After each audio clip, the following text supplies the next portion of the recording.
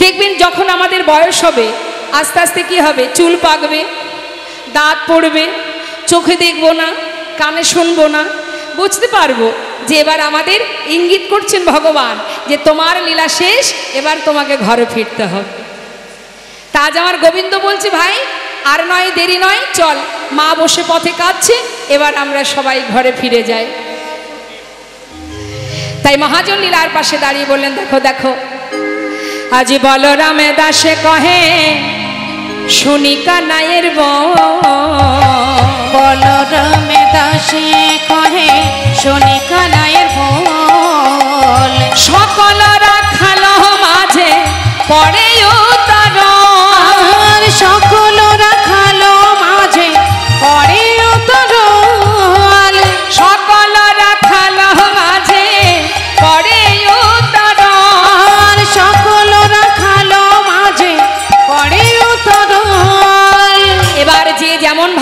পারছে সমস্ত ধেনুবৎসকে একত্রিত করছে। আর এদিকে সখাগণ বলছে, দেখ ভাই, তোর ধেনুবৎসকে তো আমরা ফেরাতে পারব না। যত সময় তুই না বাঁশি বাজাবি, কারণ যারা বনের পশু, যারা গাভী মাতা, যারা কৃষ্ণের সঙ্গ করে সদা সর্বদা, তারা কিন্তু মা গোবিন্দের ইশারা বোঝে। আমরা বুঝি না কিন্তু বনের পশু বোঝে। বনের পশু তারা তৃণসেবা করতে করতে অনেক দূর বনে চলে যায়। কিন্তু যত সময় গোবিন্দের মুরলীর ধ্বনি, বংশীর ধ্বনি না শুনবে, তত সময় কিন্তু তারা ফিরবে না। তাই শ্রীরাম সখা বলছে, দেখ কানাই, তোর মুরলীর ধ্বনি মানে তোর বাঁশির ধ্বনি, বেনুর ধ্বনি যদি না শোনে, তাহলে কিন্তু তারা ফিরবে না। তাই আমাদের কথা বলিস না, তুই নিজে একবার বেনু বাজা, যাতে তোর ধেনুবৎস ফিরে আসে। তাই গোবিন্দ বিলম্ব না করে এবার তিনি ধেনুবৎসকে ফেরানোর জন্য মানে আমাদেরকে ফেরানোর জন্য এবার তিনি বাঁশি বাজালেন। মহাজন বলেন দেখো দেখো চাঁদি মুখে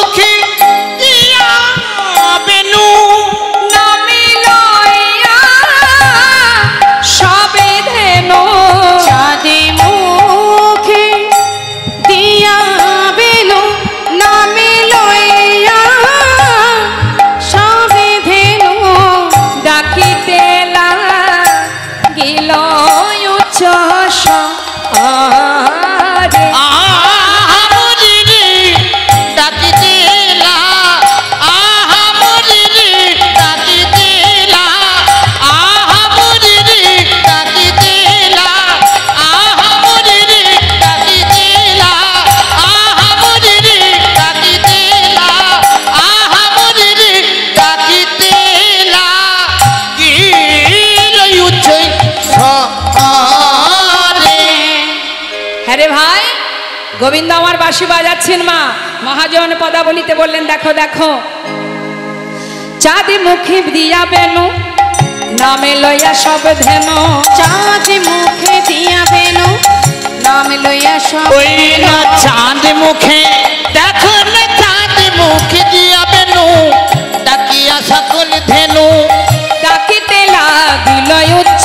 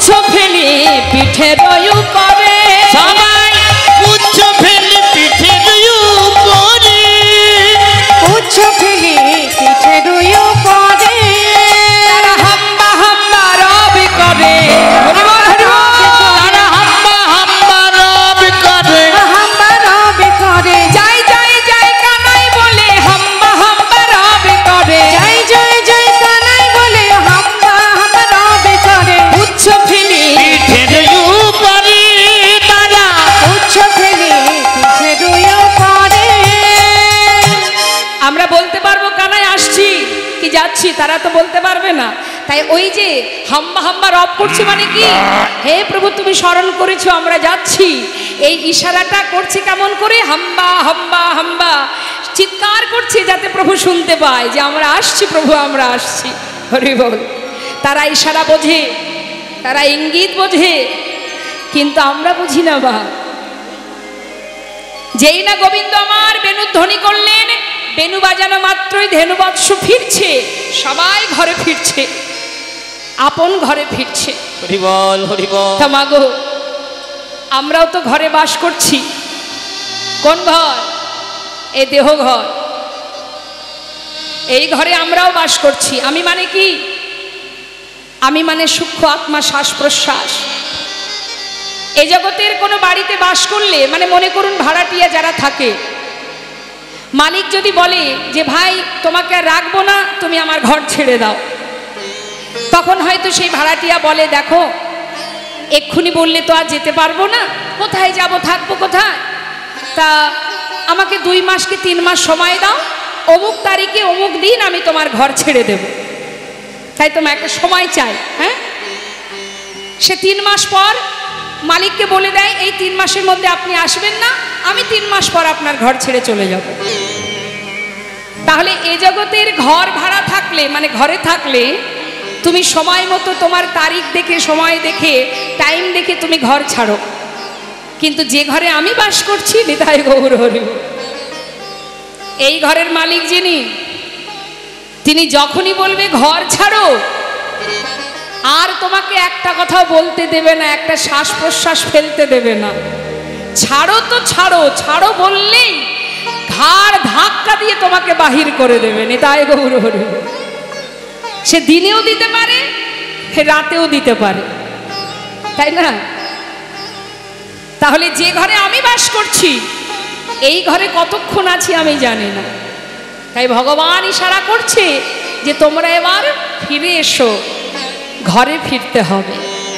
ধেনুবৎস ফিরছে হাম্বা হাম্বা রব করছে। তারা গোবিন্দের স্মরণে গোবিন্দের নিকটে এসে সারাদিন পর ভগবানকে পেয়ে তারা সবাই গোবিন্দের চারিপাশে ঘুরে ঘুরে সমস্ত বনের গাভীমাতাগুলো তারা গোবিন্দের সর্বঙ্গ জিহবা দিয়ে লেহন করছে। হরি বল হরি বল।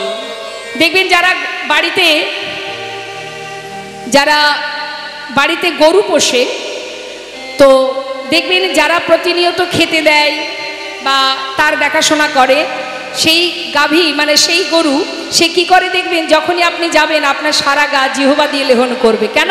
সবাইকে কিন্তু করবে না। সে জানে যে কে আমার কে আমার আপনজন। তো আপনি তাদেরকে ভালোবাসেন বলেই সে আপনাকে ভালোবাসা দেয়। কীভাবে ভালোবাসা দেবে? আপনি হলে জড়িয়ে ধরতে পারবেন। তারা তো পশু, তারা তো পারে না। তাই আজ আমার গোবিন্দের কাছে গিয়ে সমস্ত পশুরা তারা ওই গাভী মাতা সর্ব অঙ্গ গোবিন্দের সারা দেহ জিহবা দিয়ে লেহন করছে। আর কি করছে? মনে মনে বাসনা করছে হরিবোল হরিবোল পশুর অন্তরের কথা কে বা বোঝে যিনি? অন্তর্জামী সেই তো বোঝে। আর কারা বোঝে? যারা ভক্ত যাদের হৃদয় আছে যাদের অনুভূতি আছে যারা অনুভব করতে পারে আজ মহাজন পদাবলিতে বলছে, দেখো, বনের পশু তারা গোবিন্দের সর্বঙ্গ লেহন করে বলছে, হে গোবিন্দ, দিয়েছ তো মোদের পশু কুলে জনম। যে কুলে জনম পেলে তোমাকে দুহাত দিয়ে সেবা করা যায় না। কিন্তু দয়াময় বৃন্দাবনের পশু হয়ে জন্ম পেয়েছি। তোমাকে কাছে পেয়েছি সঙ্গী রূপে। তোমার সঙ্গ লাভ করতে পেরেছি।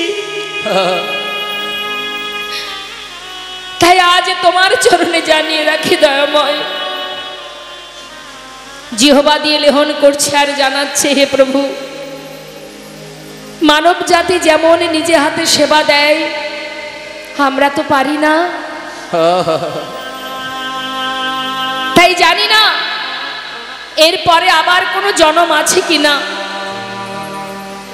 যদি আবার জনম থেকে থাকে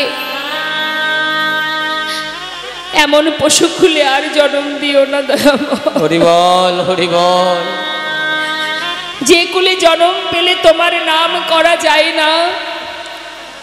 যে কুলে জন্ম পেলে তোমায় তো হাতে ভরে সেবা করার যায় না। সে জনম আমাকে আর দিও না।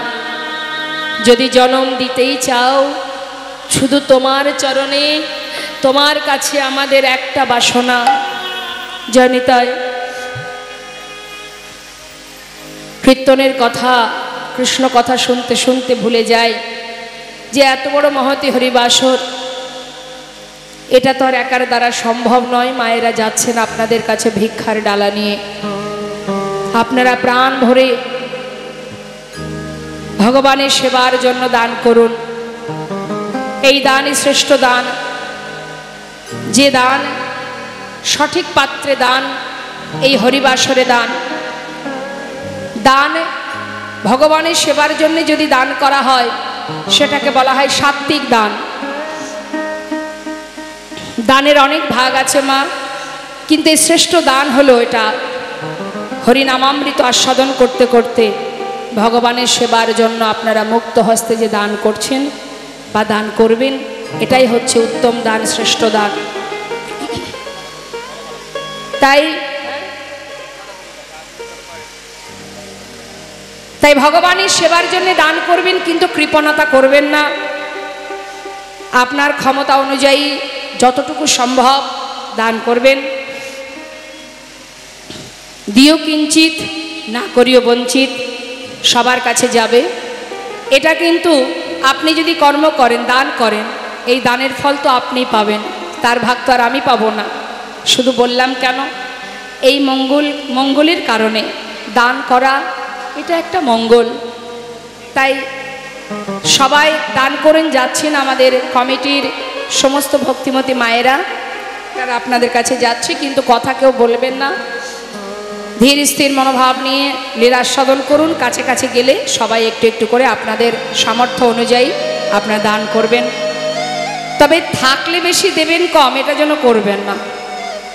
দেখবেন অনেকে আছে ব্যাগের মধ্যে হাত দিয়ে খোঁজাখুঁজি করে যে কোনটা ছোট টাকা আছে সেটা দেব ভগবানকে। আর ভগবান মৃদু মৃদু হাসে আর মনে মনে বলে, ওরে, তোর ব্যাগে কত আছে আমি কি জানি না? আমি তো দিয়েছি। আর আমার বেলায় কৃপণতা করছিস? বেশ, এ জন্মে পেয়েছিস, পরের জন্মে আর দেব না। তখন বুঝবি ঠেলা হ্যাঁ ওই দাঁড়ে দাঁড়ে ভিক্ষা করে দিন কাটাতে হবে, দু পয়সা পাবি তাতে সংসার চালাতে হবে। তখন বুঝবি মজা। তাই যেমন ভগবান দিচ্ছেন আপনাকে তেমনটাই দিতে হবে। কিন্তু দেখবেন, আবার দেওয়ার পিছনে যেন অহংকার চলে না আসে। এই আবার আর এক জ্বালা। একটু যদি দিয়েছি মা, তাতে আবার আমাদের অহংকার এসে যায়। এত টাকা দিয়েছি, এই দিয়েছি, ওই দিয়েছি। আহা, দিয়েছ যে তুমি? তুমি পেয়েছ কোথা থেকে? কে দিল তোমার? তুমি যদি বলো, আমি কর্ম করে পেয়েছি না, অত সহজ নয়। কর্ম করলেই সবাই সব কিছু পায় না। তার যখন মনে হয়েছে, তার যখন কৃপা হয়েছে, তখন তুমি পেয়েছ। তাই হাজার চেষ্টা করেও যদি কিছু না পায় জানবেন সেটা তার ইচ্ছা। সে দেবে না তোমায়, তাতে তোমার ভালো হবে না, তাই দেবে না।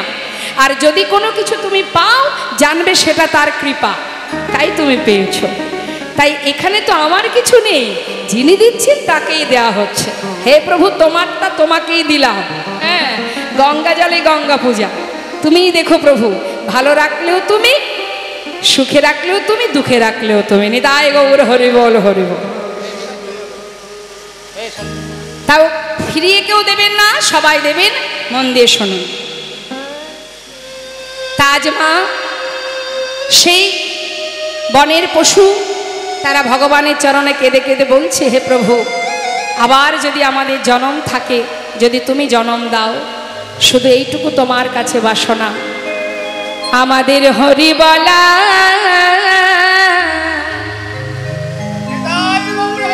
তুমি বদ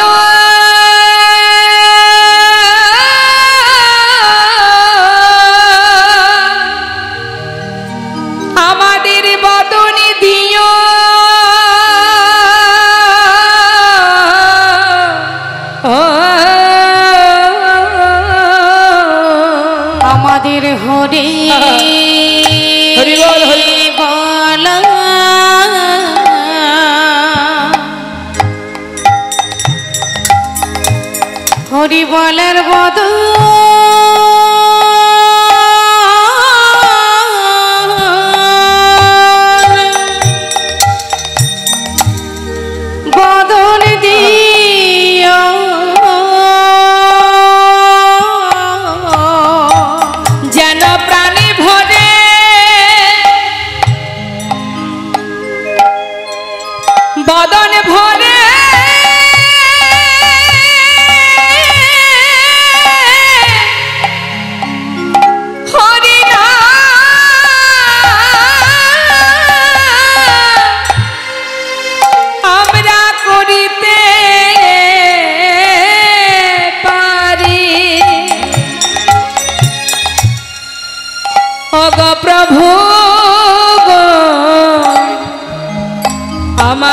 হরি বলা বধনি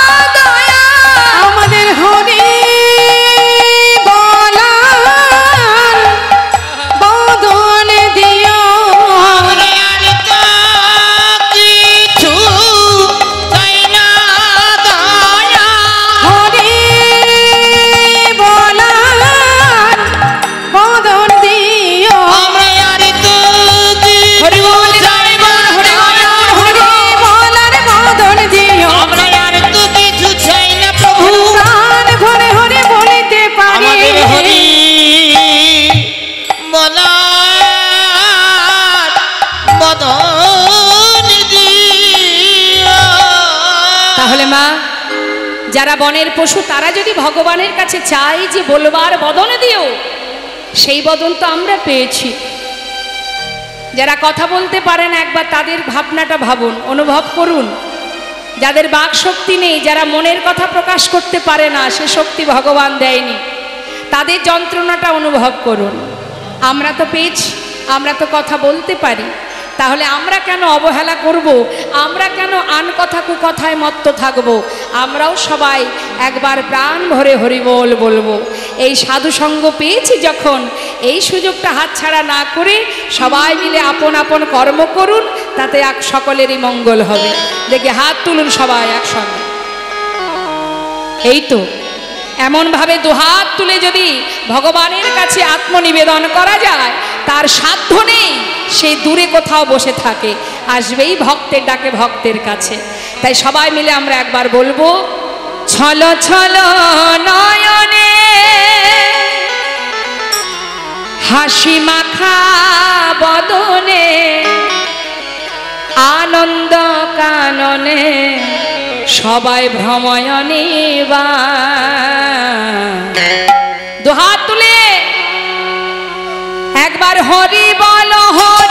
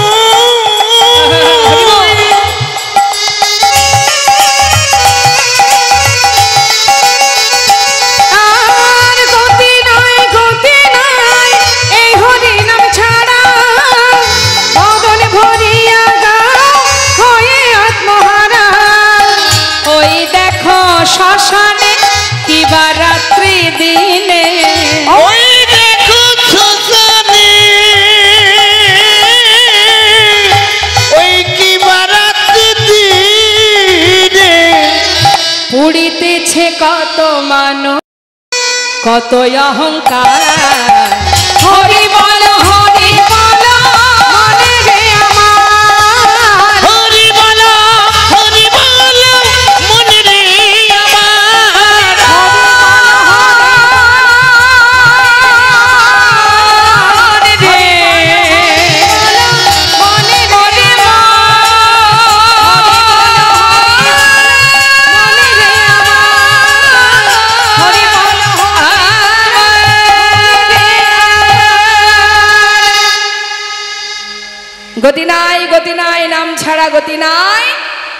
অহংকার করো, হিংসা করো, যাই করো না কেন।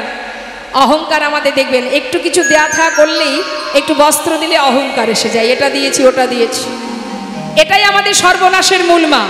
অহংকার আর হিংসা, যত সময় এই দুটো আপনি দূর না করবেন, তত সময় এখানে ভক্তি বিরাজ করবেন। যেখানে হিংসা থাকবে, সেখানে ভক্তি থাকে। যেমন মহাভারতে, হিংসা ছিল কার? দুর্যোধনে। যার কারণে সেখানে গোবিন্দ থাকতেন না। থাকতেন কার কাছে? পঞ্চপাণ্ডবের কাছে। সদা সর্বদা যাদের মধ্যে ছিল দীনতা। তাই হিংসাকে দূর করতে হবে। যত সময় হিংসা দূর না করবে, হবে না। তার প্রমাণ? এই বেশি দূর নয়। আপনাদের কাছাকাছি এক ভক্তের কথা বলি, মা।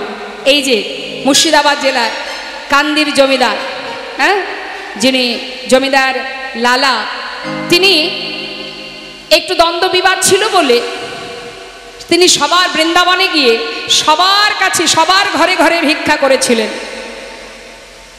কিন্তু এক জায়গায় তিনি যেতেন না। কোথায়? না জগৎ শেঠের দ্বারে। তাই মহাজন বলেছিলেন, এক বাবাজি বলেছিলেন, যত সময় তুমি তার ঘরে ভিক্ষা না করবে, ভিক্ষা করলে কি হবে? এই যে তোমার সঙ্গে আমার বিবাদ হয়ে আছে, দ্বন্দ্ব হয়েছে, ঝামেলা গণ্ডগোল হয়ে আছে। আমি যদি ধর্মীয় কাজে যাই, যত সময় আমি তোমাকে গলবস্ত্র হয়ে নতমস্তকে তোমাকে নিমন্ত্রণ না করে আমার ঘরে না আনব। তত সময় আমার লাখ লাখ টাকা খরচ করে হরিবাসর বলো, বৈষ্ণব সেবা বলো, যাই করি না কেন, তাতে কিন্তু কোনো ফল হবে না। অনেকে আছে, দেখবেন বাবা, বাড়িতে হরিবাসন দিচ্ছে বা বৈষ্ণব সেবা দিচ্ছে নামযোগ্য হচ্ছে, কিন্তু কারোর সাথে যদি একটু ঝগড়াঝাটি হয়ে থাকে, তাদেরকে আর সেই বাড়িতে সেই অনুষ্ঠানে আর ডাকে না। কি হবে তাতে? লাভ কি? ভগবানের সেবা দিতে গেলে আগে এই জায়গাটা পরিষ্কার করতে হবে। তুমি ভিতরটা পরিষ্কার করো, ওপরে নামযোগ্য দিয়ে হবে কি? ভিতর পরিষ্কার না করে সেই যোগ্য দিয়ে লাভ নেই। কিছু দান ধ্যান করতে যাব, কৃপণতা করব। কোনো লাভ নেই। ভগবানের সেবার জন্য বাজারে কিছু কিনতে যাব, খুঁজে দেখব টেরা বেকা ফল কোনগুলো আছে। কিলো কিলো নিয়ে এসে ভগবানের সেবায় দেবো। নিজেরা যখন বাজারের খাবার জন্য ফল কিনবো, দোকানদারকে বলব সব থেকে মিষ্টি আর দামি ফলটা বের করুন। কারণ এটা আমার সন্তান খাবে, আমি খাব। হ্যাঁ? এগুলো করলে হবে না। আগে নিজের চিন্তা করলে হবে না। কেমন? তা এই হিংসাকে দূর করতে হবে। এই আপনাদেরই কাছেরই সেই মানুষ, বেশি দূরের কথা তো নয়। এই যে লালা, একবার চিন্তা করুন মা, কত বড় জমিদার সে। তার অভাব ছিল না কিছু? এত বড় জমিদার হয়ে একটা কাজের মেয়ে, একটা ভিখারি, একটা ধোপার মেয়ে, তাদের কাছ থেকে কয়েকটি কথা শুনে সে সমস্ত কিছু, সমস্ত সুখ স্বাচ্ছন্দ্য পরিত্যাগ করে সে জনমের মতো বৃন্দাবনে চলে যায়। ভাবা যায়, এক ধোপার মেয়ে নিজের পিতাকে বলছে, বেলা যায়, বাসনায় আগুন দাও। আর জমিদার পালকি চেপে তিনি সারা গোটা রাজ্য পরিদর্শন করে খাজনা আদায় করে ফিরছে। ঠিক সেই সময় সন্ধ্যাগত, সেই সন্ধিক্ষণে। একটু মন দেবেন, কথা নয়। কি হচ্ছে মা? কি হচ্ছে ওখানে? কি হচ্ছে? ঝগড়া হচ্ছে? আবার মাথা নাড়ি বলছে। গর্ব করে বলছি হ্যাঁ। তাই এখানেও যদি ঝগড়া হয় বাড়ি ঝগড়া এখানে ঝগড়া শান্তিটা আছে কোথায়? ঝগড়া হচ্ছে না তো? শ্মশানে শান্তি না? এখানে এসেও তো শান্তি নেই এখানেও মারামারি হবে। কথা কেন? দেখুন গল্প তো আমিও কম জানি না। আপনি কীর্তন বন্ধ করে আমাকে বসিয়ে দিন আমি আর কীর্তন করব না গল্প করে যাব চার ঘণ্টা। কিন্তু এখানে আমাকে আনা হয়েছে কি জন্য? কীর্তন করার জন্য। আর আপনাদের এখানে বসার জায়গাটা যে করে দিয়েছে, এটা কি জন্য? আন কথা বলার জন্য নয়, কৃষ্ণ কথা শ্রবণ করবার জন্য। তাই তো? তাই সময়ের কাজ সময়ে করতে হয়, এটা ভালো মতোই জানেন আপনারা। রাত বারোটার সময় কেউ যদি বিছানা থেকে গভীর ঘুম থেকে টেনে তুলে বলে, চল ভাই, এখন আর ঘুমাতে হবে না, চল খেয়ে আসি। রাগ হবে কি বাবা? খাবার সময় মাঝখান থেকে থালাটা কেড়ে নিয়ে যদি বলে, আর খেতে হবে না, চল ঘুমিয়ে পড়ি। ভালো লাগবে? তাহলে যখনই যেটা, তখন সেটা। এখন আমরা বসে আছি কৃষ্ণ কথা শোনার জন্য। আন কথা বললে তো মুশকিল। এ পাশের জন্য শুনবে না, আমিও শুনব না। কথা নয় হ্যাঁ? কথা বলবেন না। শুনুন একটু, আপনাদের কাছেরই মানুষ। এই যে মস্ত বড় জমিদার লালা তিনি খাজনা আদায় করে পালকি চেপে ফিরছে। সেই সময় এক রজক কন্যা চিৎকার করে, এখন কোন সময় মা, সন্ধ্যা সময় তো? ঠিক এই সন্ধিক্ষণে চিৎকার করে বলছে রজক কন্যা বাবু গো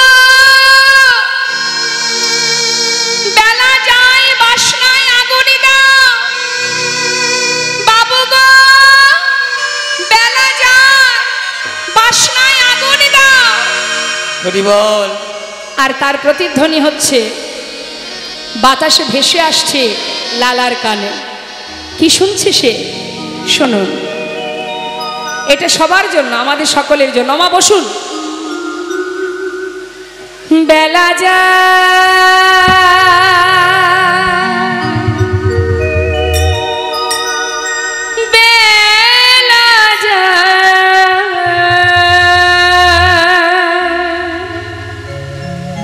বেলা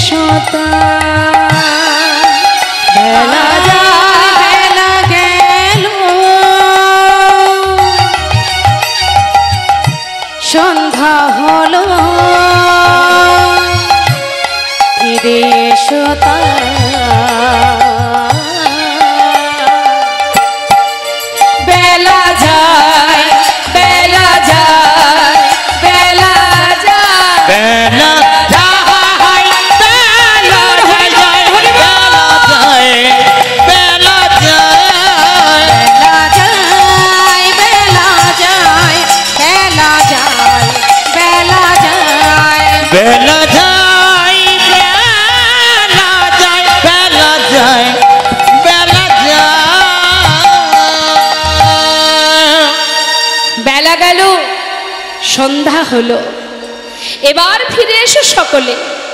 ধেনুবৎস ফিরে এলো। আর কারা ফিরে এলো? যেখানে যে ধেনুবৎসের সঙ্গে সমস্ত সখাগণ ছিল। মহাজন পদাবলিতে বললেন, দেখো দেখো আহাই অনুসারে বেনুরব আহা বুঝিয়া রাখালো সব আর অনুসার বেনুরব বুঝিয়ারা ভালো সব। আসিয়া মিলাল নিজ সুখে। দেখো আসিয়া মিলালো নিজ সুখে।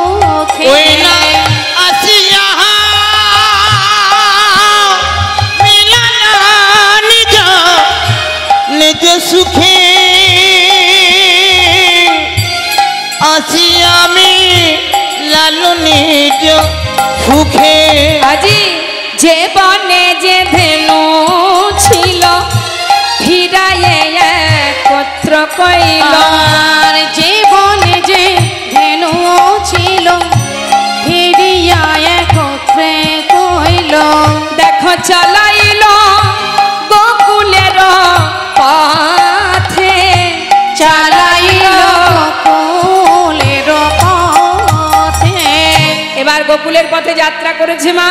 তো যাচ্ছে কে কেমন ভাবে? শ্বেত কান্তি অনুপম। আগে ধাই বল রাহা। শ্বেত কান্তি অনুপম। আগে ধাই বল ওই না শ্বেত কান্তি অনুপম শ্বেত কান্তি অনুপম। আগে ধাই বলরা আর শিশু চলে ডাইনে বামে। আর শিশু চলে যাইলে ওই আর শিশু চলে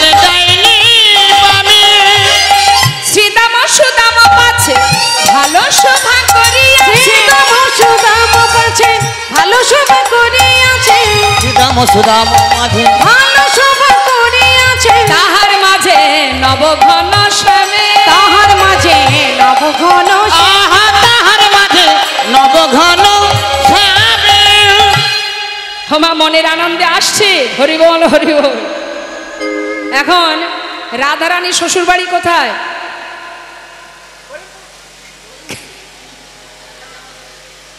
রাধারানী শ্বশুর বাড়ি কোথায়? হ্যাঁ?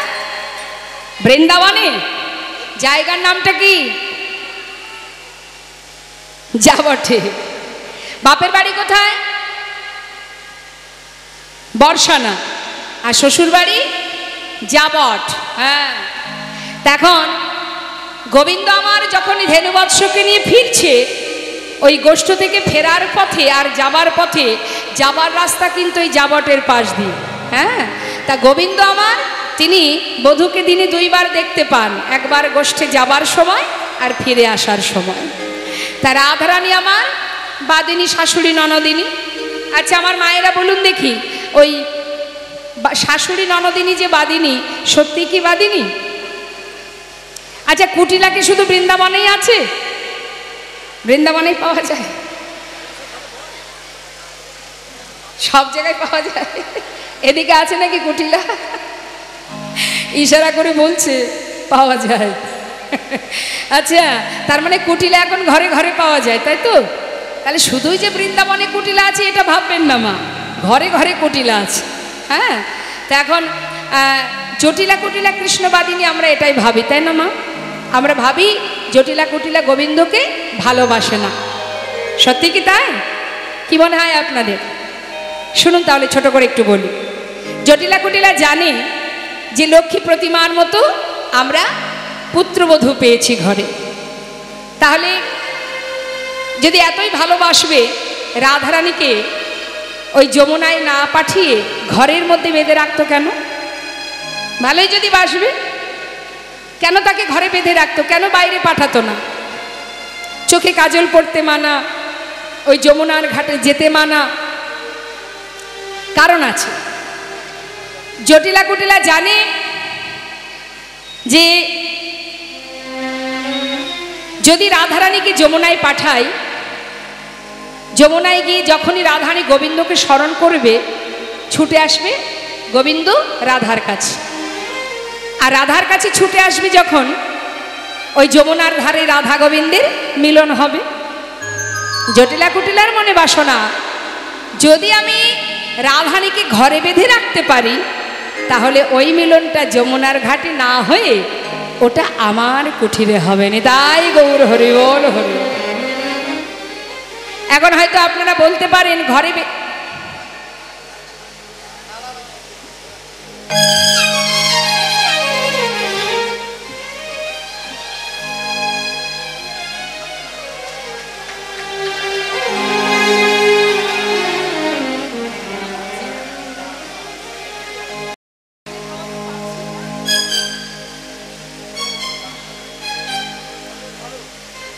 জনিতা তা জটিলা কুটিলা জানে যে রাধারানীকে ঘরে বেঁধে রাখলে সেই মিলনটা আমার ঘরে হবে। এবার কথা হচ্ছে মা, হয়তো আপনারা বলতে পারেন যে ঘরে বেঁধে রাখতো বেশ, এত কষ্ট কেন দিত রাধারানীকে? ধোয়ার ছলে বসে কাঁদতো রাধারানী, নীল শাড়ি তার পরতে মানা, চোখে কাজল পরতে মানা, সুন্দর করে বেনি বাঁধে মানা, এত লাঞ্ছনা গঞ্জনা তাকে কেন দিত? কি জন্য দিত? কারণ আছে। জটিলা কুটিলা জানে ভগবান সব সইতে পারেন পারেন না দুটো জিনিস। জেনে রাখুন এক তিনি সইতে পারেন না কারোর মধ্যে যদি অহংকার থাকে সেটা যেমন তিনি সহ্য করতে পারেন না আরেকটি কি যদি কোনো ভক্ত দুফোটা বাড়ি বাড়ি শন করে যদি কেউ কোনো ভক্ত যদি দুফোটা চোখের জল গোবিন্দ চরণে নিবেদন করে ভগবান ভক্তের চোখের জল কখনোই সইতে পারে না। হরিবল হরিবল। কেউ যদি তার জন্য কাঁদে সে নিজেকে স্থির রাখতে পারে না।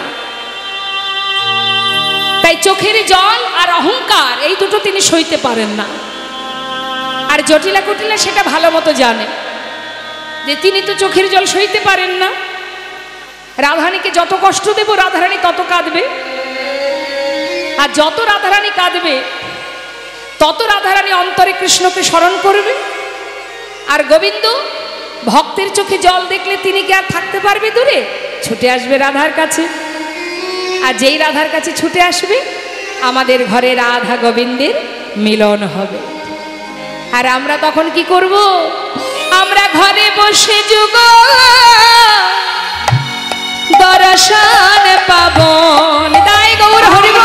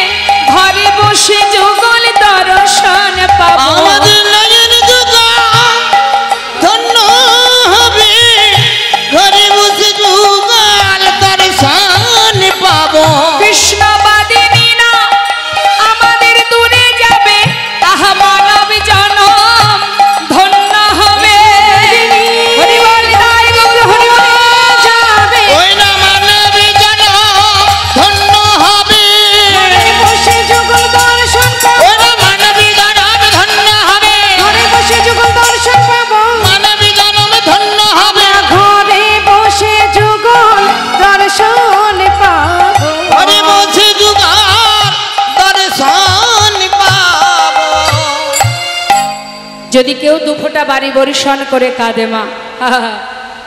তার একটা প্রমাণ। দেবর্ষী নারদ একদিন জিজ্ঞাসা করেছিলেন ভগবানের কাছে হে প্রভু তুমি একবার বলতে পারো? জগতের জীব কীভাবে তোমাকে ডাকলে তুমি তার ডাকে সাড়া দেবে? এই যে আপনারা সারাদিন ধরে কীর্তন শুনছেন মা এই কীর্তন আপনাদের মনে থাকুক বা না থাকুক আপনাদের কীর্তন মনে নেই ঠিক আছে। এই কথাটা শুধু মনে রাখবেন। দেবর্ষী নারদ জিজ্ঞাসা করছে যে, প্রভু জগতের জীব কীভাবে ডাকলে তুমি সাড়া দেবে? তখন ভগবান বলেছিলেন, দেবর্ষী, কেউ যদি আমাকে একটা ফুল দিয়ে ডাকে, আমি তার ডাকে সাড়া দেব। ডাকার মতো ডাকতে হবে।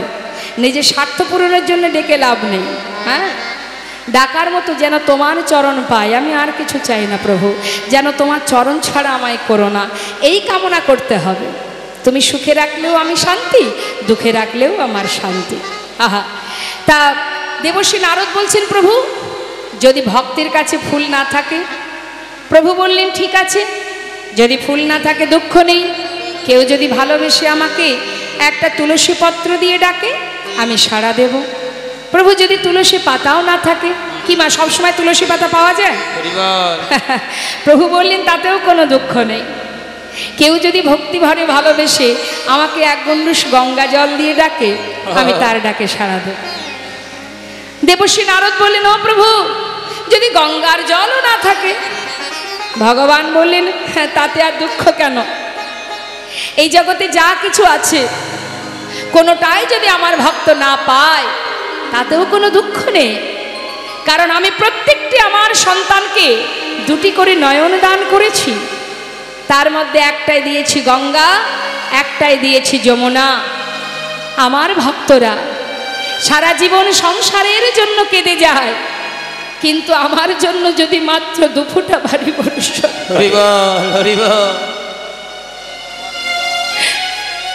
যদি দুফুটা বাড়ি পরিশ্রম করে বলে দয়াময় আমি পাষণ্ড আমি পতীত। হাজার হাজার অপরাধ করেছি। শুনেছি তুমি নাকি দয়াল করুণাময়। আমার সমস্ত পাপ দূরীভূত করে তোমার রাগা চরণে তুমি আমায় জায়গা দাও। যদি বলতে পারে, যেন চরণে ছাড়া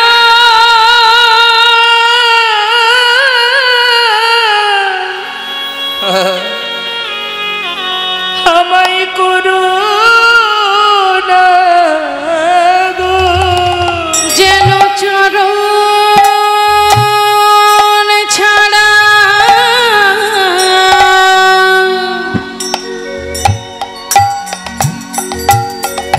আমায় করো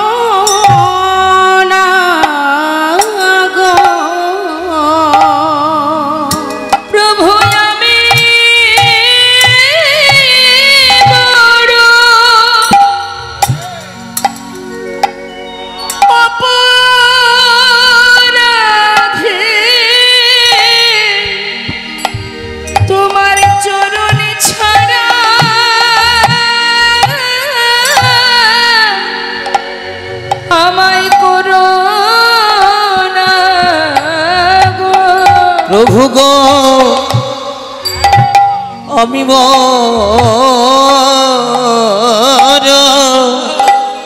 আমি বড় অপরাধী।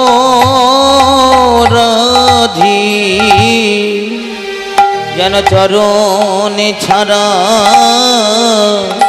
করো গো। প্রভু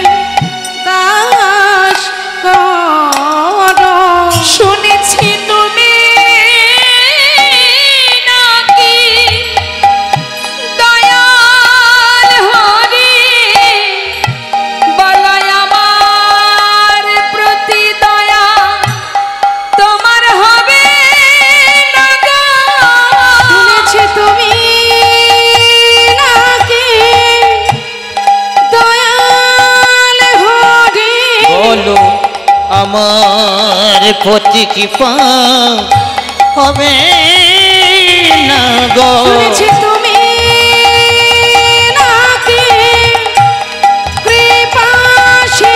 বলো বলো আমার প্রতি কৃপা হবে না গো। তুমি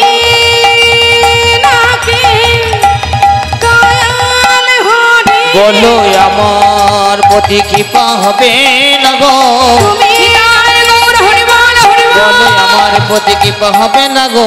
তোমার চরণ ছাড়া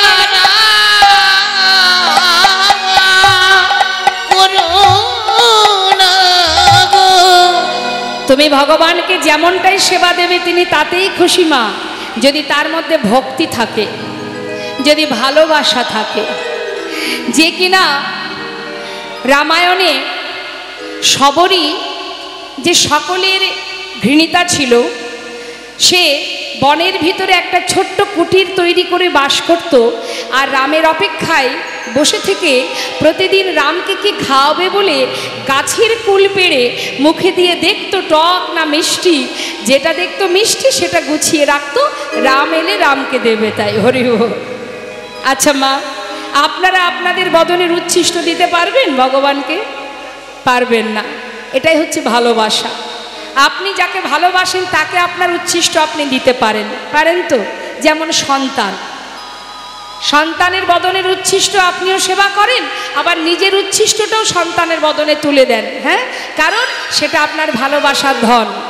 ঠিক যদি কেউ এইভাবে ভগবানকে ভালোবাসতে পারে, সে তার উচ্ছিষ্ট ভগবানকে দিতে পারে এবং ভগবান সেই ভক্তের উচ্ছিষ্ট সেবাও করে। তার প্রমাণ এই সবরই এঠুকুন প্রভু রামচন্দ্রের জন্য গুছিয়ে রেখেছে। মা সীতাকে উদ্ধার করার পথে যখন সেই শবরীর কুঠিরে গিয়েছিলেন, শবরী ফুলের পাপড়ি ছিঁড়ে ছিঁড়ে সুন্দর করে পথের উপরে সাজিয়ে রাখতো, কেন? রাম আসবে যদি তার পায়ে ব্যথা লাগে। আহা, কি ভালোবাসা দেখুন, কতটা ভালোবাসা দেখুন। তা আপনি ভালোবেসে যদি আপনার উচ্ছিষ্টও দেন, ভগবান সেটাই সেবা করবে, যদি দেওয়ার মতো দিতে পারেন, ভালোবাসতে পারেন। তার একটা সুন্দর দৃষ্টান্ত দিই বাবা, শুনুন। বেশি দূরের কথা নয়। আপনাদের আমাদের সকলেরই কাছে মা। শ্রীখণ্ড নিবাসী, মুকুন্দ দাসের একমাত্র পুত্র, যার বয়স ছিল মাত্র বারো বছর।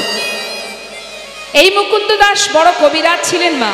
আপনারা যাবেন বেশি দূর নয়, এই বর্ধমানে, পূর্ব বর্ধমানে। কাটোয়ার কাছে। তার ঘরে ছিল গোপীনাথ বিগ্রহ। প্রতিদিন ওই ছোট্ট ছেলের পিতা মানে মুকুন্দ দাস তার কবিরাজির হাত এত ভালো ছিল মা? তো তার কাছ থেকে যদি কেউ ঔষধ নিত মানে ওই পাতালতার জড়িবুটি, যেভাবেই তাকে দিত, তাতেই সে রুগী সুস্থ হয়ে যেত। এতটা ভালো কবিরাজি জানতেন। এখন গ্রামে যখন, এখন যেমন অনেক মেডিসিন হয়েছে, আগেকার সময় তো এসব ছিল না, এই বৌদ্ধ কবিরাজ এদেরকে ডাকতে হতো। তা গ্রামে একজন অসুস্থ হওয়ায় মুকুন্দ দাসের যেতে হবে তাকে সুস্থ করবার জন্য। এখন সেই সময় ঘরে গোপীনাথের সেবা। এখন মুকুন্দ দাস চিন্তা করছে, আমি একা মানুষ, দুই দিকে একসাথে কি করে সামলাবো? এমন সময় তার ছেলে এসে বলছে, বাবা, তুমি চিন্তা করো না। বয়স বারো বছর, মা আপনাদের অনেকেরই ঘরে আছে বারো বছরের শিশু। বারো বছরের ছোট্ট ছেলে বলছে, মা, আহা, বাবা তুমি এক কাজ করো, ঘরে গোপীনাথের সেবা। আজকে না হয় আমি দিয়ে দেবো, আর তুমি চলে যাও গ্রামে যে অসুস্থ, তাকে তুমি সুস্থ করে এসো। বাবা বলছে হ্যাঁ রে খোকা, ভগবানের সেবা বললেই কি আর সেবা হয় রে? তার সেবার অনেক নিয়মাবলী আছে। তুই তো অত শত বুঝিস না, ছোট মানুষ। যেই না বলেছে তখন সেই ছোট্ট বারো বছরের ছেলে বলছে, বাবা, হয়তো আমি তোমার মতো মন্ত্রতন্ত্র জানি না। কিন্তু বাবা, আমি যদি ওকে ভালোবেসে খাওয়াই, তাহলে বুঝি ও খাবে না? তার জন্য মন্ত্রের দরকার। আমি তোকে ভালোবাসি আমি তোকে ভালোবেসে খাওয়াবো। মুকুন্দ দাস মনে মনে চিন্তা করছেন সত্যি তো ভগবান সবার থেকে বেশি ভালোবাসে ভক্তি? তা কেউ যদি ভক্তি ভরে তাকে খাওয়ায় তাহলে তার জন্য মন্ত্রের কি বা প্রয়োজন? ঠিক বলেছে। যাক। আচ্ছা শোন ঠিকঠাক রান্না করা হয়নি বাবা? তা বলছে, রঘুনন্দন, তুই এক কাজ কর। ওই রান্নাঘরে সব কিছু গোছানো আছে, তুই একটু রান্না করে সেবাটা দিয়ে দিস। তবে হ্যাঁ আমার জন্য প্রসাদ রাখিস। চললাম গ্রামের কাজে, আমি ফিরে এসে প্রসাদ পাবো। ঠিক আছে বাবা, চলে যাও। মুকুন্দ দাস চলে গেল গ্রামের কাজে। আর ছোট্ট বারো বছরের ছেলে, জীবনে কোনো দিন নিজে হাতে রন্ধনও করেনি, গোপীনাথের সেবার দায়িত্বও কোনো দিন পড়েনি।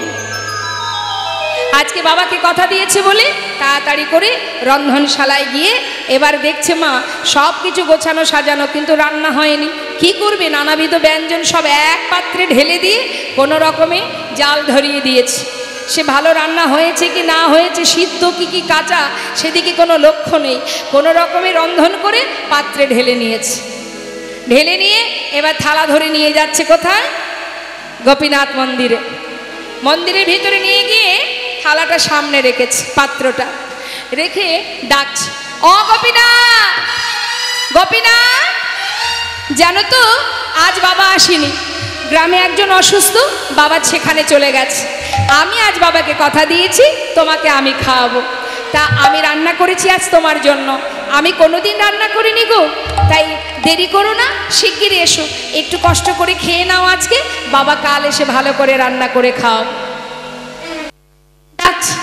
সে কি জানে বাবা? আমি যেমন আমার পিতার সন্তান ও আমার পিতার সন্তান। সে জানে না যে এটা বিগ্রহ। সে জানে ও আমারই মতো একজন সন্তান আমার পিতা। পিতা প্রতিদিন তাকে খাওয়ায় অর্থাৎ সেও তার সন্তান। তাই ঠাকুর ঘরের মধ্যে গিয়ে গোপীনাথের সামনে গিয়ে একভাবে ডাকছে গোপীনাথ কি হলো? দাঁড়িয়ে আছো কেন? এসো না শিগগিরই খেয়ে নাও। দেখো রাগ করো না। আমি তো কখনো রান্না করিনি। জানি না কেমন হয়েছে। একটু কষ্ট করে খেয়ে নাও। কাল বাবা ভালো করে রান্না করে খাওয়াবে। কে আসে কার কথা শুনবে? কেউ আসছে না। চিন্তা করছে কি ব্যাপার? বাবা প্রতিদিন খাওয়ায়, তখন আসে। আমার বেলা আসছে না কেন? তবে কি আমার কোনো ভুল হয়ে গেল? দেখি তো, চারিদিকে তাকিয়ে দেখছি কি দরজাটা খোলা। আচ্ছা। বাবা দেখেছি, যখন তোমাকে সেবা দেয়, দরজা বন্ধ করে দেয়। দাঁড়াও দাঁড়াও দাঁড়াও। দরজাটা বন্ধ করে দিল গোপীনা এবার তো এসো। দেখো, ওই দেখো দরজা বন্ধ হয়ে গেছে। এসে খেয়ে নাও, শিগগিরই এসো। হো গোপীনা কখন থেকে ডাকছি? দেখো, তুমি যদি না খাও, আমার পিতা যদি জানতে পারে, আমাকে অনেক বকবে। আমি যে কথা দিয়েছি, ভালোবেসে তোমায় খাওয়াবো। এসো না গোপীনা কেন এমন করে দূরে দাঁড়িয়ে আছো? ও গোপীনা আমার কি কষ্ট হয় না? এসো বলছি, কি হলো? এসো। যত সময় না আসছে, তত সময় ডাকছে। আসছে না। ডাকতে ডাকতে ক্লান্ত হয়ে যাচ্ছে। কিছুতেই আসছে না। আসবে না তো? আসবে না? তবে শুনে রাখো, আমি যখন না খাই, আমার পিতা আমাকে লাঠি দিয়ে মেরে মেরে খাওয়ায়। আসবে না? বেশ মন্দির থেকে বাইরে বেরিয়ে খুঁজে খুঁজে একটা লাঠি জোগাড় করেছে। জোগাড় করে মন্দিরে প্রবেশ করে বলছে দেখে নাও আমার হাতে কি আছে। ভালো চাও চলে এসো। না হলে লাঠি দিয়ে আমি তোমাকে মেরে মেরে নিয়ে আসব। বলুন মা আর কি করে? ভগবান আর পাথরের মধ্যে থাকবে কি করে? ভক্ত লাঠি এনেছে। ভালো চাও চলে এসো নাইলে লাঠি দিয়ে মেরে মেরে খাও। হরিবল হরিবল প্রভু আমার বিগ্রহ থেকে সচল মূর্তি ধারণ করে। ধীরে ধীরে পাতা আসনে এসে বসেছে। যেই না বসেছে, মনে মনে রঘুনন্দন ভাবছে, দেখেছ? লাঠির ভয় দেখিয়েছি আর ভয় পেয়ে চলে এসেছে। খেয়ে নাও। আমি রান্না করেছি কোনো দিন করিনি। একটু কষ্ট করে খেয়ে নাও, বাবা কাল এসে ভালো করে খাওয়াবে।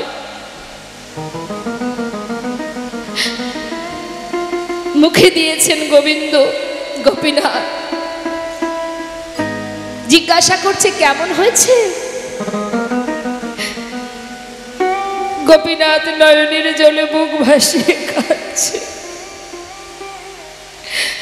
আর বলছে, ভক্ত, কেউ যদি আমার জন্য ভালোবেসে রন্ধন করে থাকে সেই রন্ধন আমার কাছে অমৃত স্বরূপ। এতদিন এই ঘরে আছি কোনো দিন এমন অমৃত আমি পাইনি।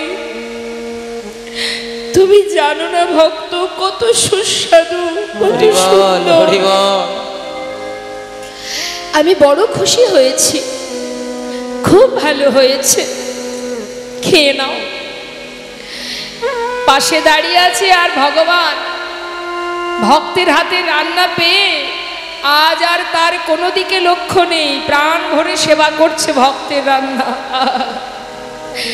সেবা করতে করতে প্রায় শেষের দিকে আর নেই। অবশিষ্ট যেটুকু আছে মুখে দিতে যাবে। হঠাৎ পিছন থেকে রঘুনন্দন ছুটে এসে হাতটা চেপে ধরলেন গোপীনা আর খেও না। হরিবল হরিবল। উঠে যাও। একটু তো আমাদের জন্য রাখো। এখনও আমি খাইনি, আমার পিতা খাইনি। যা রান্না করেছি সবই তো তোমায় দিলাম। তুমি যদি খাবে, আমরা কি খাব? একটু রেখে যাও, আর খেও না। উঠে যাও, ওঠো বলছি। আগে তো আসছিলে না। এসেছ, ঠিক আছে। খাচ্ছ, খাও, তাই বলে সব খেয়ে নেবে। ভগবান বলছে, আহ, সেই তো বকে বকে মেরে মেরে নিয়ে এলে। আবার তাড়িয়ে দিচ্ছ? দেব না। আমাদের কথা একটু ভাবো। কি জানো তো ভক্ত? আজ না এত ভালো রান্না হয়েছে, আজ আর আমার কারোর কথা মনে ছিল না।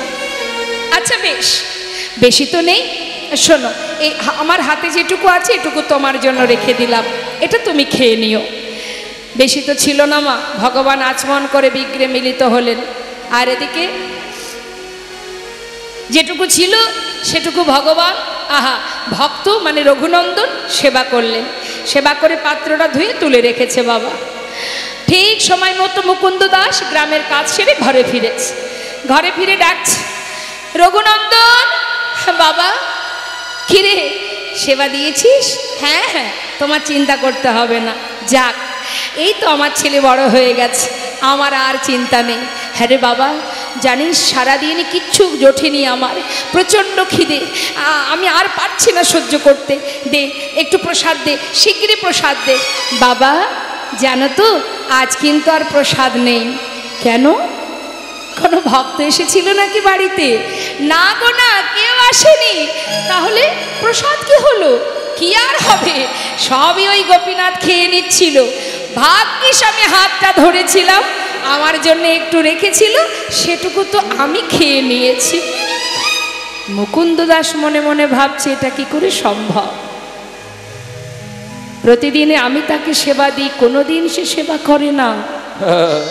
আজ আমি ঘরে নেই আর আমার আজই গোপীনাথ সেবা করেছে। এটা হতে পারে? না না না। সে কি করে সেবা করবে? সে তো পাথরের বিগ্রহ। আমার পুত্র নিজে সেবা করে বিগ্রের নামে দোষ দিচ্ছে। সে তো আর এসে বলবে না মুকুন্দ, আমি কিন্তু খাইনি, তোমার ছেলে খেয়েছে। বলবে কি করে? সে তো পাথর, সে তো কথাও বলে না, সে তো চলতেও পারে না। জেনে রাখবেন মা, যার যেমন ভাব, তার ঠিক তেমনই লাভ। মনের সন্দেহ মনে থেকেই গেল ছেলেকে পরের দিন পরীক্ষা করার জন্য। আবার তিনি ডাকলেন, রঘুনন্দন, বলো বাবা, জানিস বাবা, গ্রামের সেই ব্যক্তিটাকে আজও যেতে হবে সুস্থ করতে। আমার এখনও কাজ শেষ হয়নি। তাই বাবা তুই তো ভালো সেবা দিতে শিখেছিস, তা একটা কাজ কর, আজ আর তোকে এ রান্না করতে হবে না। গোপীনাথ তো নাড়ু খেতে ভালোবাসে, আমি ওর জন্য নাড়ু করে রেখেছি। তুই সময় মতো নাড়ুটা ভোগ দিয়ে দিস। ঠিক আছে বাবা, চিন্তা করতে হবে না, চলে যাও কিন্তু মুকুন্দ দাস কি আদৌ কোথাও গেছে না কোনো কাজে যায়নি। ছেলেকে পরীক্ষা করার জন্য ওই মন্দিরের পিছন দিকে গিয়ে দেয়ালে কান পেতে আছে। কেন? না, আমার ছেলে যখন মন্দিরে ভোগ নিবেদন করতে যাবে, তখন আমি শুনব আমার পুত্র ছাড়া আর কেউ ওই মন্দিরে প্রবেশ করে কিনা। কান পেতে আছে।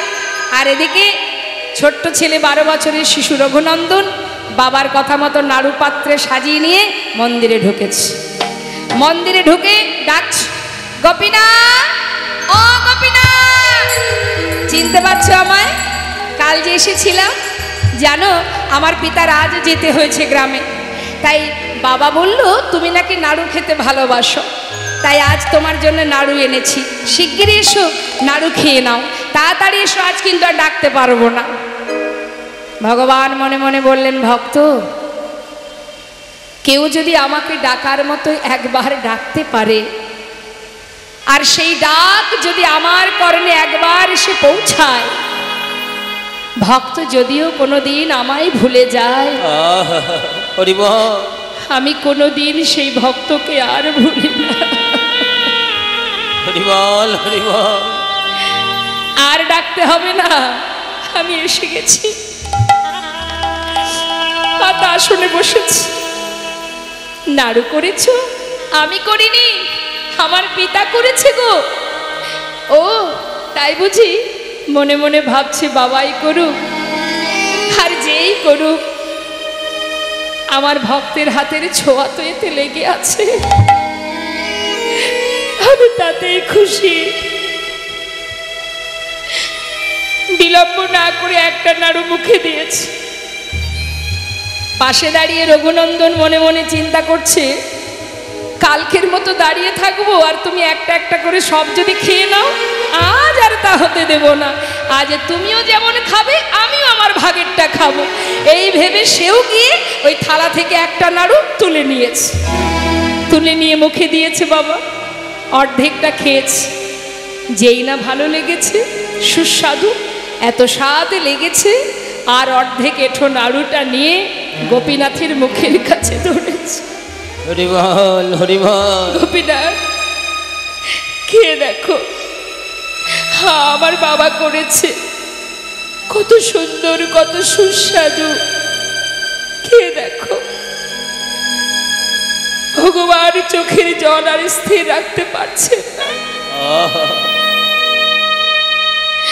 মনে মনে ভাবছে ভক্ত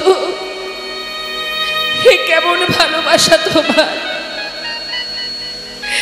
নিজের বদনের উচ্ছিষ্ট তুমি আবার বদনে তুলে দিচ্ছ। এর জন্য তোমার এতটুকু দ্বিধা হচ্ছে না। হে কি ভালোবাসা পবিত্র ভালোবাসা। ভক্ত রঘুনন্দন বলছে গোপীনাথ তুমি কাঁদছো? আমার এঠো তোমায় দিয়েছে তাই। জানো তো আ- আমার ভালো লেগেছে বলেই তোমায় দিচ্ছিলাম। ঠিক আছে, আর দেব না, কেঁদো না। ভগবান বলি, না না, আমি সেজন্য কাঁদছি না, ভক্ত। জানো তো, আমি কাঁদছি কেন? এই যে তুমি তোমার এঁঠোটা আমার মুখে দিচ্ছ আচ্ছা আমি কি আমার এই প্রসাদী নাড়ুটা আমি তোমাকে খাওয়াতে পারি? হ্যাঁ তাহলে তুমি আমাকে খাইয়ে দাও, আমি তোমাকে খাইয়ে দিই। ভগবান তার প্রসাদী নাড়ু দিচ্ছেন ভক্তের বদনে তুলে আর ভক্ত তার এঠো নাড়ু দিচ্ছে ভগবানের বদনে। ভক্ত ভগবানের মধুর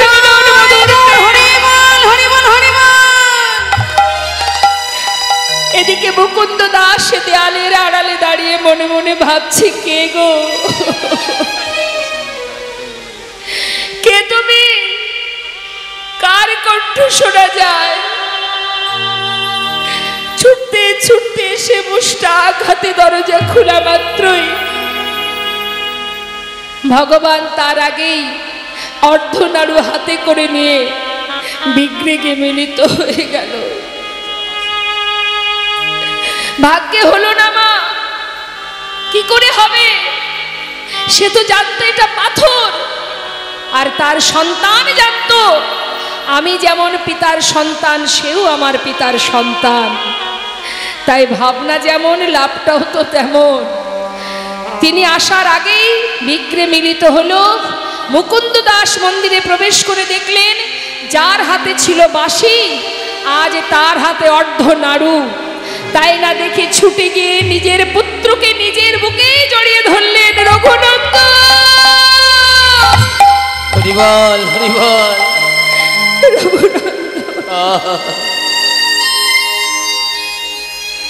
আমার বুকে আয় বাবা। এমন সুসন্তান পেয়েছি আমি। পিতা হয়ে এতদিনের সাধনার ধন আমি পেলাম না দেখতে। আর একদিনই তুই তার দর্শন পেলি বাবা। আমার বুকে আয়। সারা জীবনের সেবা সব যে আমার অযোগ্য হয়ে গেল, আয়। তোর মতো সন্তানকে বুকে জড়িয়ে ধরি, জড়িয়ে ধরে এতদিনের অযোগ্য দেহ। আমি যোগ্য করি এতদিনের অযোগ্য দেহ।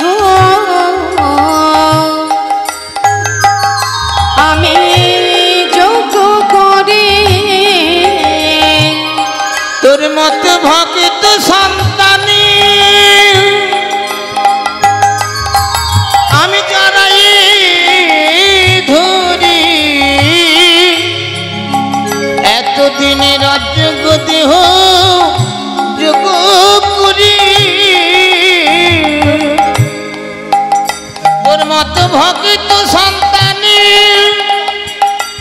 আমি জড়াই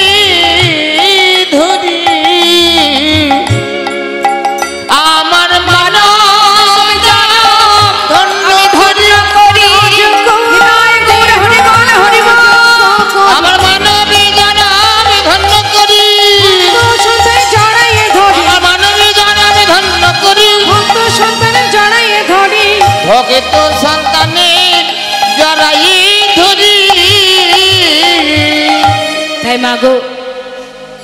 আপনি ভালোবেসে ভগবানকে যেমনভাবেই সেবা দেবেন, ভগবান তাতেই সন্তুষ্ট। ভালোবাসতে জানতে হয়। এখান থেকে ভালোবাসতে হবে, উপরে ভালোবাসলে হবে না। অন্তর থেকে ভালোবাসতে হবে। আর জটিলা কুটিলা অন্তর থেকেই ভালোবাসতেন। শুধু রাধানীকে বেঁধে রাখতেন, ঘরের মধ্যে যুগল দর্শন পাওয়ার আশায়। আজ প্রেমময়ী রাধারানী চন্দ্রশালিকায় বসে বসে বধূ আসছে দেখে বধূর আশাপথে নয়ন দিয়ে দাঁড়িয়ে আছে। আর এদিকে গোবিন্দ আমার সিঙাবেনু বাজাতে বাজাতে যখন আসছে, মহাজন বললেন, দেখো দেখো।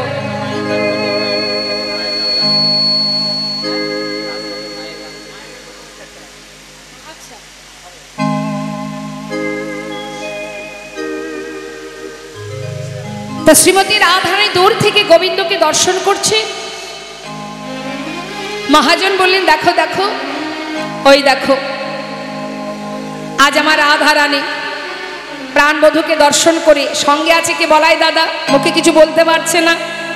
তাই রাধারানী বধূকে দর্শন করে জাবটের পাশ দিয়ে যখন যাচ্ছেন গোবিন্দ, রাধারানী দূর থেকে ডাকছে আর বলছে, বধূ অগবধূ এসো এসো আমার ঘরে। ওই না বেশে আয়সা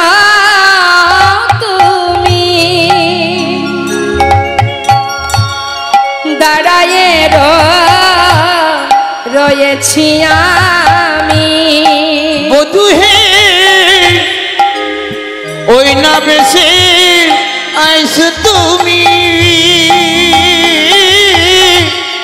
তারাই রয়েছি আমি। বধু তুয়া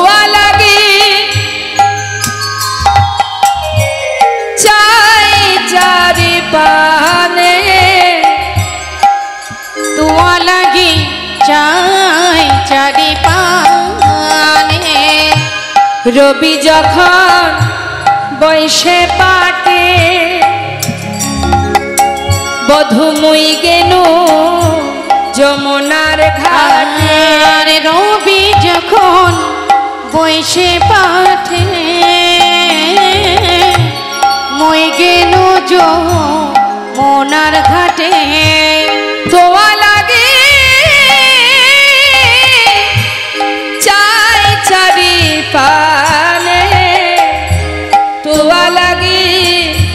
চাই চারি পানে বধু তোমার লাগি চাই চারি পানে। বধু আজ তোহা লাগি চাই চারি পানে। ব্রজের রাখালো যত সবই চলে যাওয়া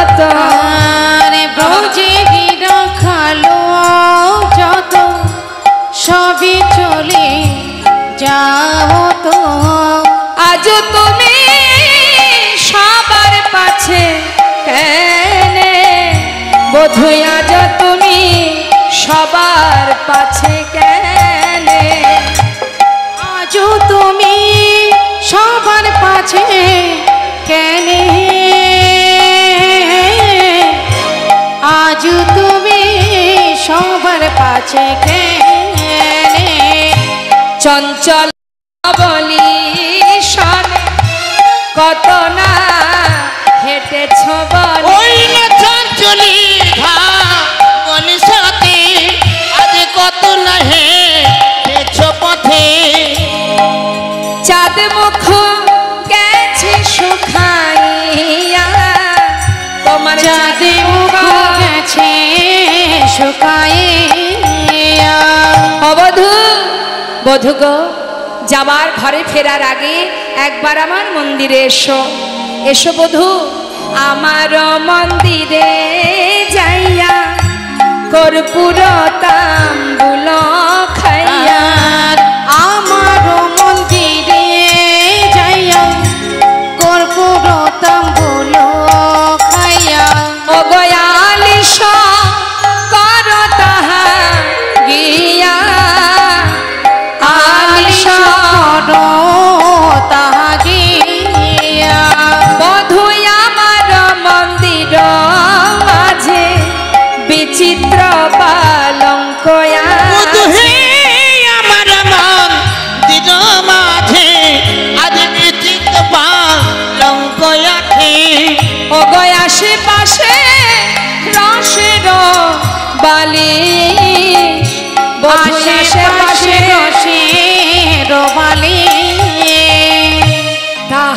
সুতিবে তুমি চরণ সে বিবয়া। ওই না তাহাতে সুতিবে তুমি আজ চরণ সে দিব আমি। ওগ দূরে যাবে বনে রয়ালি। বধু দূরে যাবে বনের আলি বধু বসে আছি গো। বসে আছি গা বসে আছি। বুঝি আছি গো। আশা পথে নয়ন দিয়ে বসে আছি গো। আশা পথে নয়ন দিয়ে বসে আছি গো। আশা পথে নয়ন দিয়ে বসে আছি গো। আশা পথে নয়ন দিয়ে হে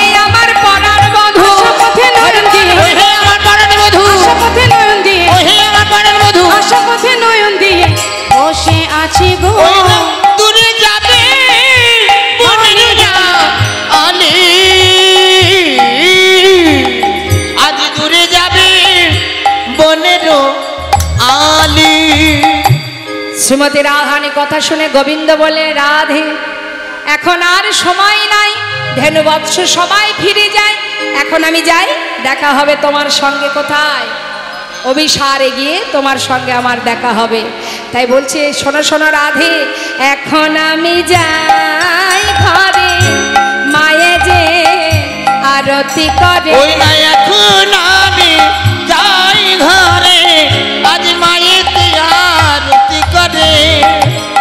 সখা সব করিল পয়ান সখা সব করিল পয়ান সখা সব করল পয়ান গো। সখা সব করল